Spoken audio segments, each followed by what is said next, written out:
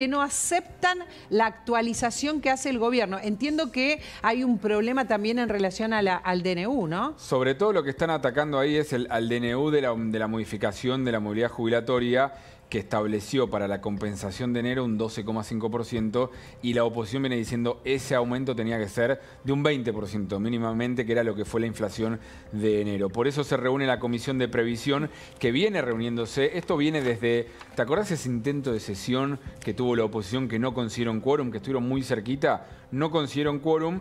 Em, el gobierno a los pocos días sacó eh, por DNU el aumento de la movilidad jubilatoria, pero igual la oposición se reunió en la Comisión de Previsión, empezó a tener reuniones y hoy es un día clave donde quieren empezar a avanzar con un dictamen para modificar esa movilidad. ¿Qué es lo que quieren modificar? No el cálculo, no lo de que suba por IPC, que hoy se confirmó, por ejemplo, que en mayo sube el 11% de marzo, sino la, compensación, la compensación de enero. O sea, la compensación de enero sería un 8% aproximadamente. Agregarle al 12,5% que dio el de gobierno, sí, aproximadamente un 8%.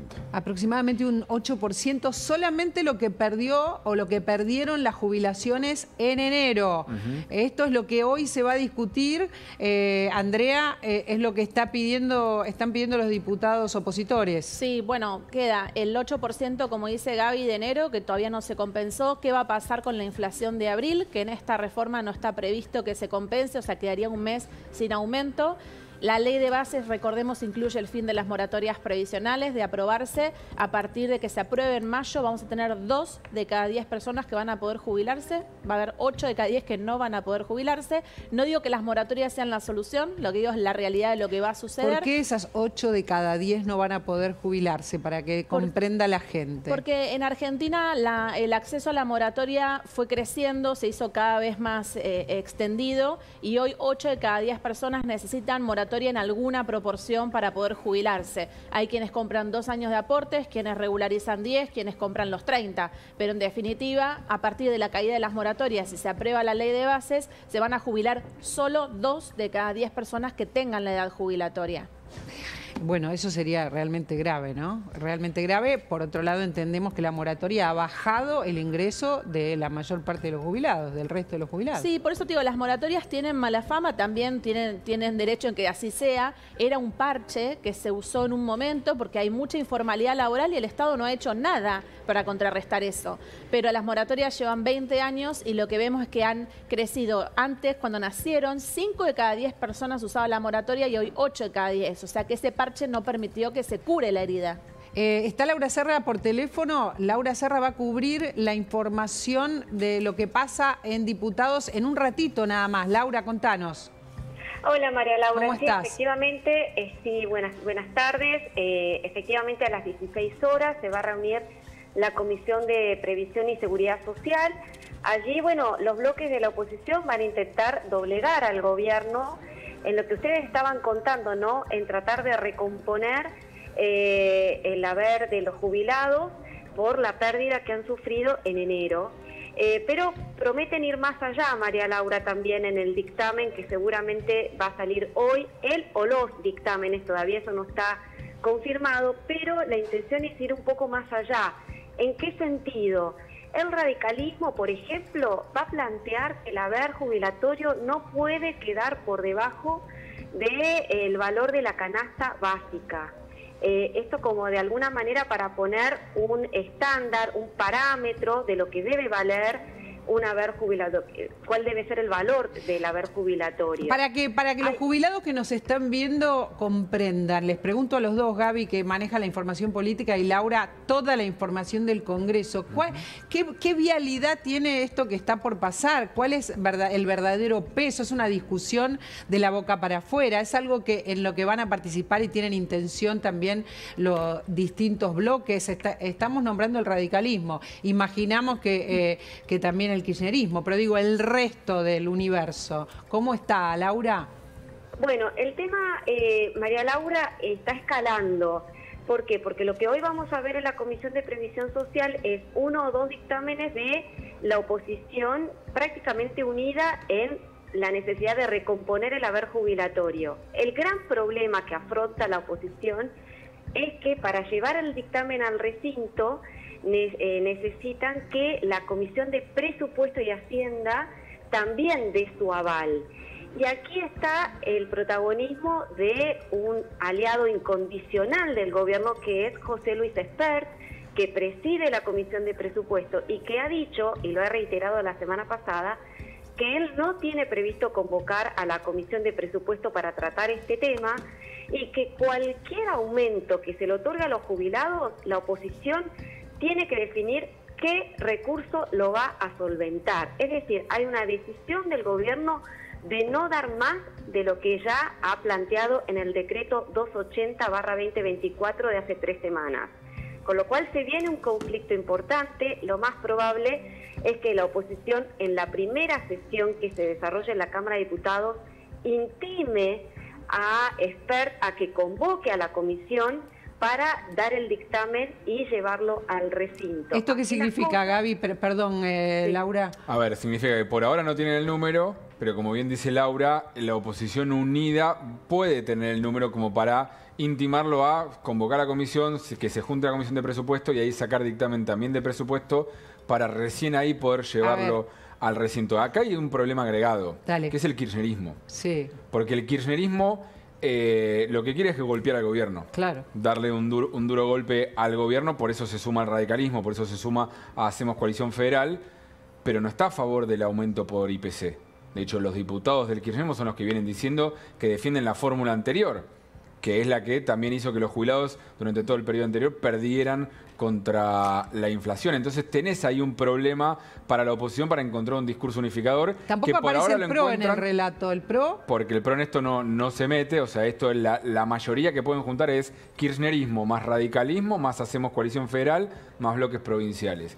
Como bien decía Laura, donde consiguen la unidad es en recomponerlo de enero en lo que es la fórmula total es donde aparecen las diferencias. Laura, ¿vos crees tiene, tiene eh, posibilidad de ser viable este, esta recomposición de enero? Me hace así, eh, Andrea Falcone, me gustaría tenerla siempre en pantalla porque es muy elocuente lo que ella está sintiendo cuando hablamos de todo esto, ¿no? De que se va a discutir algo o unas cuantas cosas que podrían ser torpedeadas de parte del kirchnerismo porque en realidad lo que quiere es, eh, simplemente estar en contra, que no está a favor eh, el propo que no se mete y que el resto de los bloques está intentando varias cuestiones. Empecemos por esta que dice Gaby y Laura, que se supone que hay consenso. Eh, ¿Podría llegar a salir esta actualización de enero como en relación a la inflación? Yo estoy casi segura de que sí, que efectivamente ese punto puede, puede salir perfectamente y a lo que decía Gaby, que me parece muy importante, lo que se está discutiendo justamente ahora, María Laura, porque está habiendo reuniones entre los legisladores de la oposición para tratar de acordar un dictamen único, es respetar por lo que, lo que dice el DNU, es decir, actualizar los saberes jubilatorios por inflación con una cláusula gatillo, y atención con esto, que cuando en el eventual caso de que la inflación baje y estemos en un contexto de inflación baja, pueda activarse una eh, suba de los saberes con la variación salarial que justamente eh, eh, la variación que hoy está este, rigiendo la movilidad jubilatoria actual, es decir, la de Alberto Fernández. Habría entonces una combinación de ambos, de ambas variables, es decir, inflación o variación salarial a la hora de definir la movilidad jubilatoria. Ahí sí hay un punto, Lau. Ahora. Y es cero oposición en Argentina es lo más fácil que hay. ¿Cómo, cómo cero, oposición? en Argentina es lo más fácil que hay. es lo más fácil. Todos los que estarían llegando a ese acuerdo son los que también hacia atrás terminaron perjudicando siempre a los jubilados o por eh, omisión, por no dar los aumentos que tengan que dar, o por hacer del sistema un sistema completamente deficitario, que no funcione y demás. Todo economista en la Argentina, incluso los que tienen el kirchnerismo, saben que ahí en el sistema provisional tenés un problema. Y, que lo tenés que solucionar. ¿De qué manera? Obviamente intentando perjudicar de la menor manera posible a los jubilados. Pero si vos... Bueno, algunos no lo tienen tan presente. No, ya sé, pero si vos al sistema actual también porque los, diputados también son clave para todo este mercado que ahora están todos tranquilos con el mercado, que va hacia una situación fiscal más normal y demás. Si vos desde el Congreso la señal que le das es no nos importa la situación fiscal, que sería hacer esa modificación, empieza a tambalear todo. Eh, Laura, supongamos que esta cuestión de la actualización de enero sale en la comisión aprobada. ¿Cómo sigue? Bueno, eh, si sale de la comisión aprobada, todo dependerá justamente de lo que decíamos hace un ratito, de que eh, José Luis Esper convoque a presupuesto para darle el broche final al dictamen y poder llevarlo al recinto. ahí ¿Cuándo va estamos complicados. Eh, para, espérame un minuto. Hace así, Andrea Falcone, vos no, está- no la estás viendo. ¿Por qué? Contanos. Lamentablemente el trabajo que está haciendo esta comisión no tiene ninguna relevancia, no va a ir a ningún No lugar. tiene relevancia. Ninguna. Epa con eso. Absolutamente ninguna. Si vemos las personas que asistieron a las charlas previas, los días previos, no tiene ninguna relevancia, no, ¿Por tiene qué? ni- no va a llegar a ningún lugar, porque además los que están haciendo esta presentación, tal cual dijo Gaby, digamos, ¿por qué perdieron los jubilados brutalmente el primer trimestre frente a la inflación? Porque aplicaron la fórmula del gobierno anterior. Esta es la realidad concreta. Mi ley no le hizo nada más a los jubilados que aplicar la ley. Obviamente soltó la inflación y eso tuvo un impacto muy, muy violento en los saberes. Ahora, la fórmula que tienen hoy va a ser, va a ser, no es, va a ser la mejor, porque van a actualizar por IPC. ¿Qué mejor queremos para conservar en la movilidad? ¿Qué es la movilidad de las jubilaciones? Conservar poder de compra. Nada mejor que la inflación. Vos decís que esto que están discutiendo es nada más que para perder el tiempo. Para por- llamar la para atención, llamar la algún titular, que la gente piense que están haciendo algo. No va a pasar nada. Nada relevante. Porque aunque la aprueben, después en última instancia tiene, tiene que pasar al Senado y después en última instancia está la, la instancia del veto. Tiene que pagar el costo político el presidente en todo caso de vetar esa decisión, pero sabemos que mi ley con el tema costos políticos, Eh, lo, ajuste, lo no- sumo, no- no se Claudia, no, preocupa. no cortes, lo sumo a Zapata porque esto que está diciendo Andrea me parece muy fuerte. Entiendo que estás apurada, Andrea, te, te- te puedo tener cinco minutos más. Eh, Federico, escuchás lo que está pasando desde el principio del programa, nos estás acompañando, pero es importante porque la gente está muy atenta a todas las señales y está bastante claro lo que, di- lo que dice Andrea, ¿no? Sí, Con esto ver. no va a pasar nada. A, a mí me parece, desde lo político, eh, esto está adelantando el problema que probablemente vayamos a tener con tarifas en los próximos dos meses. Y la lectura que me parece que hay que hacer es si estamos ante un cambio de enfoque del gobierno en relación a la dogmática con la cual abordó el Estado cuando asumió. ¿Cómo sería? Porque, y claro, o sea, el- el- efectivamente el gobierno asumió con un Estado elefancia- elefan- un elefante, Sí, pero la contrapartida del mercado de eso es un, mercado muy raquítico, con poca competencia, con, con poca vitalidad. Entonces, para poder tener un mercado más vigoroso en el mediano plazo, el gobierno tenía que hacer, paradójicamente, para hacer el Estado más chico, más política y tener un Estado más profundo. ¿Y ahora el cambio cómo sería? bueno, a- que efectivamente, por ejemplo, esto que están haciendo, llevarlo a la justicia, es, es decirle a las, a las empresas, ok, sentémonos. Porque claro, el- el- el- la, mano libre del mercado lo puede resolver en un mercado vigoroso de acá a 10 años. Hoy, eso en la Argentina no existe. Es verdad. Entonces, eso, digamos, el gobierno se comportó como un papa que no cree en la iglesia, ahora tiene que comportarse como un papa que empieza a creer en la iglesia, que efectivamente el Estado tiene que tener un rol en la Argentina, sobre todo en un reacomodamiento de precios relativos, en temas tan sensibles como son, por ejemplo, jubilaciones. ¿Vos le ponés fichas a, esta, a estas presentaciones, eh, Andrea, del, del gobierno en relación a las prepagas, por ejemplo? No, yo sí, eso sí. Creo que ¿Sí? en el momento en que el mercado, que son las prepagas, sientan que el gobierno va a tomar cartas en el asunto, van a volver hacia atrás sobre sus pasos de alguna forma, van a frenar futuros aumentos, van a retrotraer quizás a segmentos más vulnerables. Algo van a hacer porque el poder del Estado siempre es fuerte. El tema es que acá este gobierno decide no utilizarlo. Pero si ahora está diciendo, acá hay una cartelización, vamos a aplicar la ley, yo le digo, las multas a las cuales se pueden expon- exponer son de millones y millones y millones de pesos. Hasta la semana pasada hubo negociaciones entre las prepagas y el gobierno, o actores vinculados al gobierno, donde lo que las prepagas estaban dispuestas y, y proponían es, es decir, yo congelo por tres meses. ¿Sí? O sea, lo que aumenté hasta acá, aumenté, congelo por tres meses, pero pedían algo a cambio que no conseguían y es congélenme todo lo demás. O sea, todo lo que es eh, medicamentos, otros, otras cuestiones vinculadas a la Esto salud. no, no prosperó. Claro, Y no quieren prosperaba. cazar en el zoológico. ¿Cómo, cómo? Quieren cazar en el zoológico. Claro.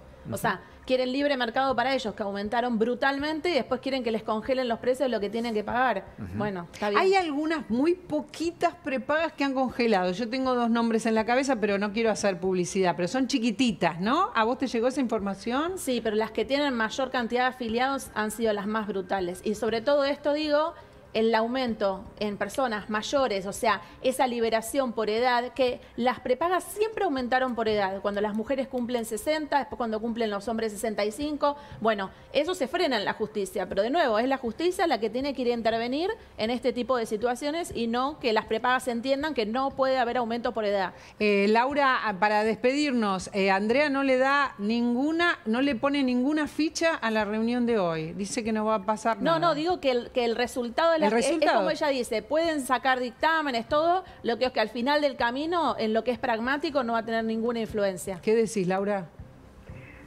Bueno, que hay que conocer un poco la dinámica parlamentaria, ¿no? Porque indudablemente esto es muy cambiante y si bien hoy estamos viendo que se trata de una sola comisión, que todavía faltan muchos obstáculos este, para, para vencer, para llevar el dictamen al recinto, ella podría tener razón, pero lo cierto es que estamos viendo una ofensiva bastante, bastante sólida que puede terminar eventualmente en un veto presidencial eh, y que, pero que en definitiva refleja la voluntad de una mayoría opositora que este, quiere de alguna manera revertir lo que está haciendo este gobierno, que es licuar eh, los saberes jubilatorios para, que es lo que ha logrado en el primer trimestre de este año, ¿no? A partir de la, ecuación de, los de las jubilaciones, eh, exhibir superávits gemelos. Eh, eso es lo que la oposición cuestiona, dice, bueno, hay otras formas de llegar a ese superávit, no siempre o no necesariamente a partir de una poda brutal o una caída brutal en los saberes jubilatorios. Eso es lo que se va a discutir hoy. Gracias, Laura, siempre. Muchísimas gracias. Ojalá puedas venir pronto. Un abrazo grande. Andrea también la tengo que despedir, pero me parece siempre tan central tenerla. Es un lujo que haya venido hasta acá porque está muy, pero muy ocupada. Pero hay es una situación, entiendo que los jubilados siempre han, atravesado situaciones límites, pero creo que hay, es una situación más límite que nunca. Yo conté hace un par de semanas que me tocó estar eh, un domingo en, la, en la farmacia a la que voy a comprar algo menor y ver un jubilado que lo que es de venta libre, que no tiene descuento, ibuprofeno, no lo podía comprar. ¿no? tenía la cuenta para lo, los, lo que tenía recetado, que era muy poco, o que era eh, gracias a PAMI, y no lo podía comprar. Y el farmacéutico diciéndole, me lo pagás después, el farmacéutico del bar. O sea, una situación de mucha humillación. Sí, es, muy triste. No, nunca se vio algo como lo que se está viendo ¿Nunca? hoy, nunca se vio. Eh, han dejado de tomar los medicamentos que tienen que tomar todos los días, los han dejado de tomar. Esto es una realidad, yo podría traerte decenas de testimonios, ¿no? Lo que pasa es que eh, es como difícil ver eh, una oposición articulando en contra de estas medidas cuando en realidad son consecuencias de todo el desmanejo de los últimos 20 años si no querés ir más atrás, desde Norma Pla para acá. Entonces, insisto siempre, esta visión es eh, me, cuesta ver siempre a las personas mayores en esta situación de vulnerabilidad, donde después hay que darles, ¿no? Cuando una mano da, la otra recibe, la que recibe está abajo. Entonces los que venimos atrás decimos, nosotros no queremos envejecer, no queremos llegar a este lugar tan disvalioso. Creo que acá hay que realmente ordenar la situación de una vez por todas y entender que vulnerables también son las personas mayores, no son solo los niños. Gracias, Andrea. Millones de gracias. Eh, me interesa tu opinión sobre esto que estás escuchando y estuviste escuchando, Federico. Bueno, eh, acá hay una cuestión que plantea Andrea que es muy importante porque de alguna manera e, esta oposición, digamos, que, está haciendo como una como, como que, quiere, digamos, plantear una discusión sin tener en cuenta los ingresos, es la misma que los últimos 20 años se ha negado a discutir la reforma laboral. Y la reforma laboral argentina tiene que ver justamente con cómo se financian las jubilaciones. No es una discusión de cómo se flexibiliza el mercado laboral para que los trabajadores pierdan derechos, sino es una discusión fundamentalmente con cómo se hace un sistema para incorporar mayores trabajadores que hoy están en la informalidad y que permitan eh, solventar los gastos de, la, de las jubilaciones. Entonces, Vos escuchaste los números que nos dijo Andrea. Andrea dice que los próximos tampoco van a poder jubilarse, solamente dos es que la situación de informalidad en la Argentina es altísima, hoy es el principal mercado laboral. Entonces, digo, lo, que, si, la misma política que te dice, ok, gastemos sin contemplación de los gastos, te dice, ok, no hagamos ninguna reforma para incorporar más trabajadores al sistema, y, o sea, es, de una neurosis, digamos, total. Entonces, me, parece que, digamos, hay que tener una discusión madura, como la que está pidiendo la sociedad, en torno a cómo efectivamente el gobierno logra eh, que, esta situación se dé en el marco, por ejemplo, con algún nivel de control sobre el precio de las, de las, de las, de las obras sociales, de las prepagas, etcétera, al mismo tiempo hay que dar una discusión para que el sistema sea sustentable y eso implica discutir el mercado laboral. Eh, bueno, eso, para eso se necesita también que esté el DNU, ¿no? Para, para discutirlo o no, o vos crees que no, que, que, no va a pasar nada cuando se discuta el mercado laboral, también con lo que plantea Federico, que es el tema del sistema de reparto. Sí va, sí va a estar probablemente la reforma laboral en toda la ley bases, sobre todo se va a meter como para intentar destrabar lo que está trabado en la justicia del DNU. Eh, algunos puntos quizás ahí salen del debate, pero que en lo central que tiene que ver con esto que dice Federico es lo que la mayoría dice, banquemos esto, que tiene que ver con el blanqueo sobre todo de los trabajadores informales, que es lo que te podría ayudar a engrosar la, masa aportante, es esta pirámide que decía eh, Andrea recién muy bien, que la parte de abajo se empiece a ensanchar un poco y haya más gente que aporte para el sistema jubilatorio. Bueno, estamos con María Castiglioni también que nos va a ayudar con esos números. Vamos a volver a poner los números de las prepagas. a ver, festejamos que el gobierno, como dijo Federico, ha